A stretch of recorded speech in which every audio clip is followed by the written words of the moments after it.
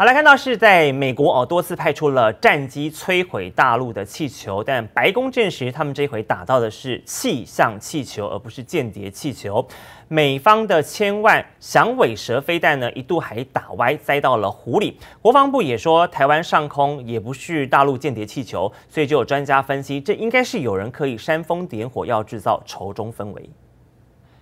中美气球大战持续上演，白宫证实，美国派战机击落第一颗气球是气象气球，根本不是间谍气球。被风吹歪的大陆流浪气球，美国当成可怕的不明飞行物。美国出动两架 F 二十二战机、两架 F 十五战机，加上预警机和加油机，用一颗要价一千两百万的响尾蛇飞弹击落。扯的是，十二号出动 F 十六战机发射飞弹时，天价飞弹还没打中，栽进湖里喂鱼。美国前后花了约七千六百万。台币去打气球，三发响尾蛇飞弹就超过上上百万了。那去捞那个残核，还要调动五艘军舰，是因为美国要炒作仇中的议题。美国在全世界做的间间谍活动比谁少啊？他连人家外国领袖的私人电话都窃听啊！你情报做成这个样子，还在乎一个气球吗？大陆调侃美国别打气球打到闪到腰，因为二零一九年美国派出高空侦探气球飞到云南上空，大陆当时派出歼十六战机用 PL 十。导弹三十秒就成功击落侦探气球，有专家嘲讽美国花七八千万去打造价约三千块的气象气球还打歪，实在有够离谱。一个气球有几个钱呢？橡胶做的，一颗响尾蛇飞弹四十万美金，所以你用响尾蛇飞弹打气球本来就很好笑，还没打中。英国金融时报报道，台海每个月都有来自大陆的侦探气球飘来，但国防部很打脸，说这些大陆气球都是气象用途，专家炮轰，有媒体刻意煽风点火，想制造。空中效应对俄罗斯大概都飘送了一百九十五次的气球，这次针对中国大陆，利用这个媒体的报道，危言耸听，制造两岸关系的动荡。过去用大炮打小鸟遭嘲讽，如今美国会用千万大炮打气球，诡异的军事行动背后，就怕藏了无数的政治操作与阴谋。记者张昭鹏、徐国豪台北报道。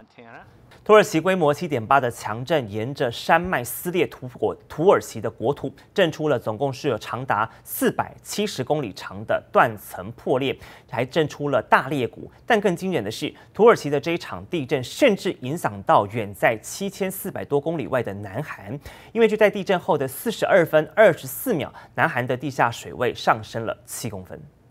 土耳其强震后，地表上被画出一道道又深又长的裂痕，沿着山脉深谷曲折蜿蜒。美国地质调查局公布土耳其强震断层破裂数据，沿着四百七十公里山脉撕裂土耳其国土，土叙边境一道就有三百二十公里长，往上一点再来一道一百五十公里长。断层破裂剧烈改变地形，地震后围楼拆除作业更是惊悚万分。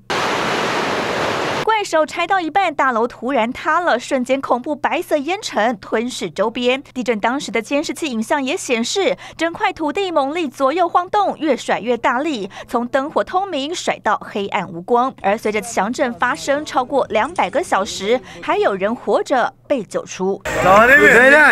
废墟中，一名女子受困两百零四个小时后重获新生，还有七十七岁男子被困两百一十二小时生还。但想不到，土耳其地震竟然。还能影响到远在七千四百多公里外的南韩。地震发生十一分钟后，感知到地震波，四十二分二十四秒后，南韩地下水位就产生变化。庆尚北道一处观测井水位甚至上升七公分。过去日本三一一强震时，南韩也测到地下水位出现变化，但毕竟日韩距离较近，这回土耳其强震能量居然能够传七千四百公里，可见这起地震威力有多惊人。记者综合报道。